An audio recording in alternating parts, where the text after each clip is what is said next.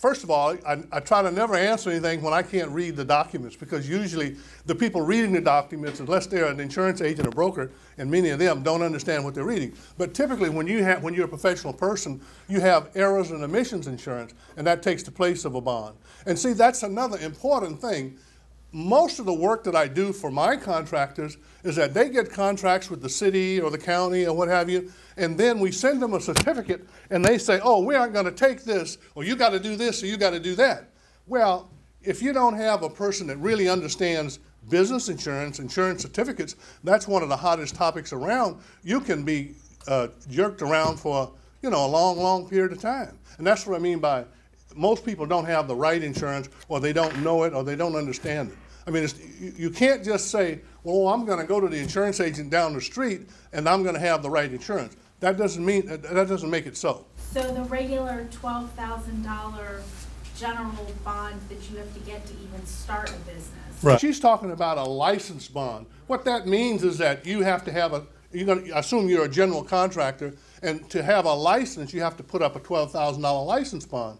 Okay, so that's not a performance bond. Okay. Okay.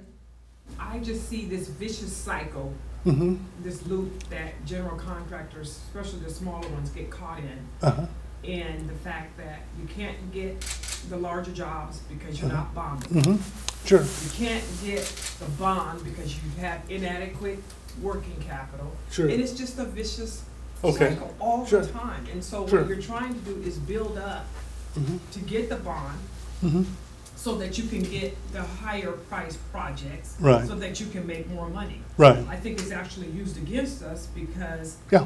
there's the silent thing that's Mhm. going on. Mhm. You're not bondable. That's So right. you- You're kept out of that arena of getting the larger jobs. Well, let me. So how do we, how do we break that cycle? Okay. People, when I tell them the truth, somebody else will tell them, oh, all you got to do is go down here and they'll do it for you. They're not going to do it for you. That's I mean, we're talking real money, and it's just like going to, going to Bank of America and saying, I want to borrow a million dollars.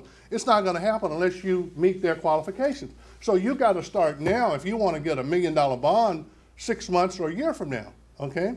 Now, the SBA, like I say, they do a wonderful job, but if you check into it, what you'll find is that the people who are getting those million dollar bonds, for the most part, they have a good credit and they have large assets. Correct.